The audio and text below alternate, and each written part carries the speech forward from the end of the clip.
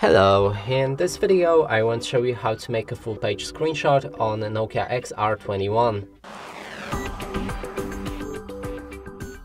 And to do this, first we'll need to open any app that allows us to scroll down. It won't work on any apps that don't have a scrollable page.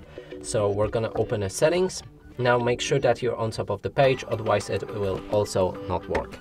Now let's try pressing volume down button right here and the power key right here to make a basic screenshot. Then we can select the capture mode. Now you can adjust the size of your screenshot. We're gonna go for a full page, click on the save, and we just made a full page screenshot. And that's it for this video, hope you like it, please consider subscribing to our channel, leave a like and a comment below.